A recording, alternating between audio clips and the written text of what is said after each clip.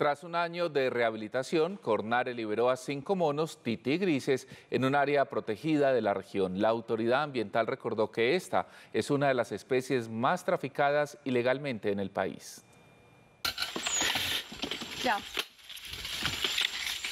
Un regreso a su hábitat tras una larga estadía en el hogar de paso de fauna silvestre de Cornare.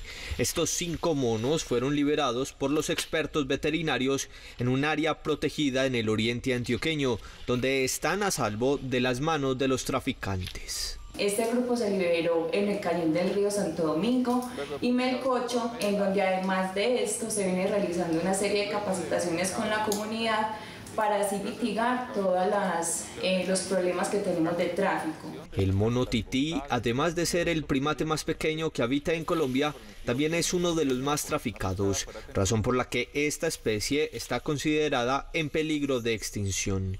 Y como están en riesgo, los monos saben que no hay tiempo que perder.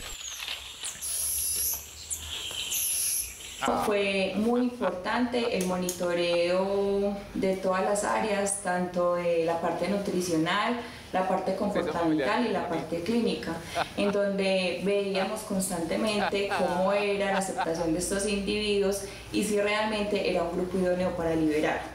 Esta especie, que solo existe en Colombia, también se ha visto amenazada por la deforestación que destruye su hábitat y el atropellamiento al cruzar por vías con alto tráfico vehicular.